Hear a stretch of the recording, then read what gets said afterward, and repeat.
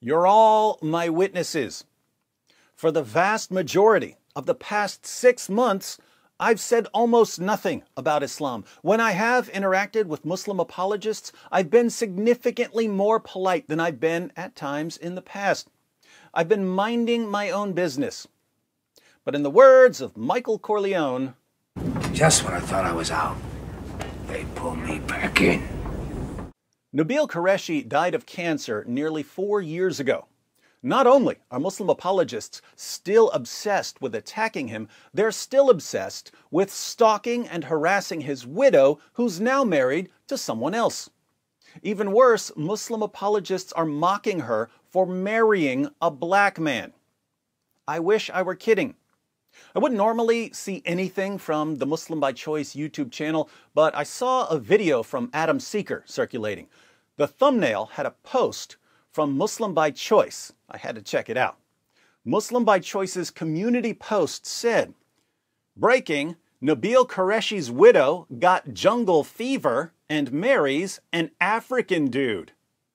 Now we know what qualifies as breaking news for Muslim apologists.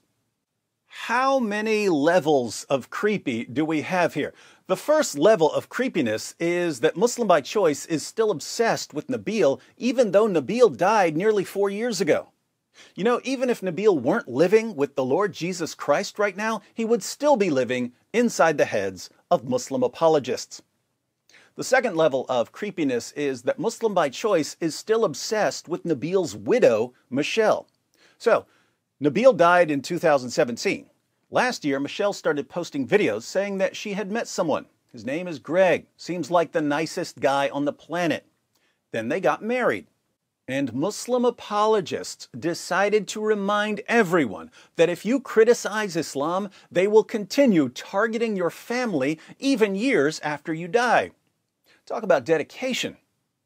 The third level of creepiness is that Muslim apologists think it's relevant that Michelle married a black man. They're calling it jungle fever.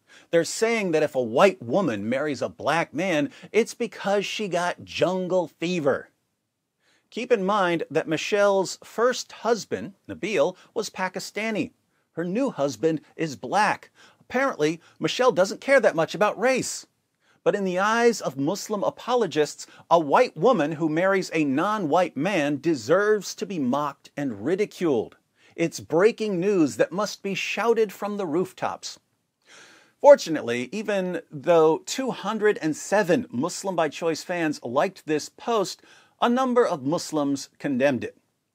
Forget Nabeel and his wife. The reason you should take this post down is because it is completely disrespectful to black people in general. Exactly.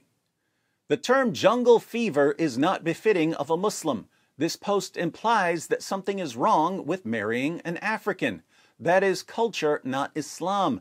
Nabeel was a detestable human, but this post is offensive to our African brothers and sisters.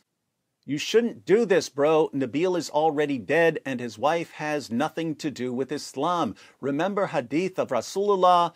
Don't talk about people who already passed away, even if they are haters of Islam, because now Nabeel knew the reality. This post implies there's something shocking or embarrassing about marrying a Nigerian. It's disappointing you've kept this post up, bro. Don't be stubborn and take this down. You are falling into the trap of extreme Christians by going to these lengths.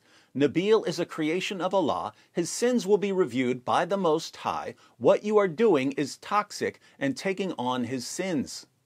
Jungle fever is a very racist inference. Don't embarrass yourself, please. Two wrongs don't make a right. Whatever Nabeel might have said. Jungle fever? Am I missing something? Is this not a racist comment to us Nigerians? I think more Muslims are offended by this reckless post than Christians.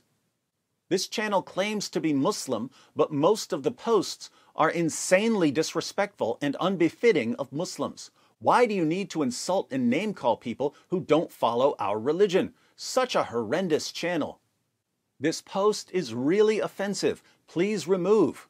Jungle Fever? We don't care about his race. She is free to get remarried to whoever she wants. It's high time whoever manages this content on this profile go back to the various hadiths on how very disrespectful people treated the Prophet and how he treated them back with kindness. Seriously, jungle fever, black man, are these the kind of words you want to use as a Muslim? Just because she married from Nigeria, you call this jungle fever? Pure, stupid, and ignorant. At least acknowledge that and remove this. The person behind the channel even pinned another catastrophic comment as the main comment. He obviously doesn't care. I see people should teach him a lesson and unsubscribe until he takes this down and apologizes. Please, we Muslims want you to remove this. As his widow said nothing bad about our religion, why are you saying that to her? Plus, why did you write jungle fever? That's not good at all. It's coming off as racist, so please remove this. Brother, you shouldn't talk about people's wives. Really? No talking about people's wives? Muhammad Hijab certainly loves talking about people's wives.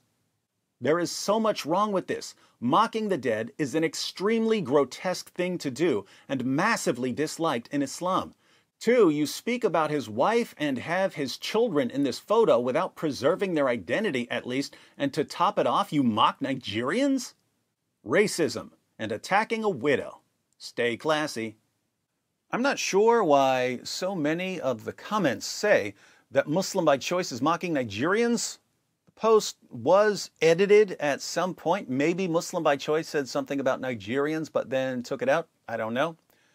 I can't imagine why Muslim by choice would even be talking about Nigerians. Greg is an American, he's a U.S. Navy veteran. Here's Greg introducing himself in one of Michelle's videos. Hey guys, good to meet you finally. I know a lot of you are wondering who is this Greg guy that's taking our Michelle away. Um, it is I, and I am guilty as charged. Uh, I started my adult life in military service, and so I joined the Navy when I was 18 and did that for seven years. Um, what's fascinating is our stories, as far as military service, parallel really well. Uh, we joined around the same time, we got out around the same time, and it's still up for debate as far as who has better sea stories. Uh, got a Coast Guard vet and a Navy vet, so um, pray for us, guys. That's that's still a point where we point of contention. Yeah. So, no idea why there are so many comments about Nigerians. Also, I have no idea why anyone would want to criticize or mock Michelle if, instead of marrying an American, she had gone to Nigeria, fallen in love with a Nigerian, and married a Nigerian. This is 2021. Who still thinks there's something wrong with a white American woman marrying a Nigerian? Muslim apologists, that's who. Again, I'm glad to see so many Muslims calling out their apologists for these disgusting and racist posts. However, I'm not sure I agree with the Muslims in the comment section that it's somehow un Islamic to bring race into the discussion. Muhammad's companions went out of their way to remind us how white he was. They said that he was white with an elegant face they referred to him as this white man and drew attention to his white complexion. They wanted us to know about the whiteness of his shins, and the whiteness of his thigh, and the whiteness of his leg, and the whiteness of his stomach, and the whiteness of his forearms, and the whiteness of his cheeks, and the whiteness of his armpits. Muhammad's companions also went out of their way to remind us how black his slaves were. Hadith after hadith after hadith, Muhammad bought owned, sold, and traded black African slaves. The Muslim sources even say that trading slaves was equivalent to trading animals. So, if race is really irrelevant in Islam, why the endless reminders of how white Muhammad was and how black his slaves were? Why were Muhammad's companions so obsessed with whiteness and blackness? Let me know what you think in the comments section.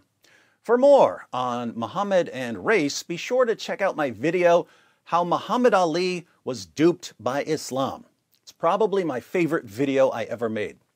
And check out Adam Seeker's video about Muslim by Choice's racist post. Adam Seeker quotes some additional hadiths about the racism of the Prophet of Islam.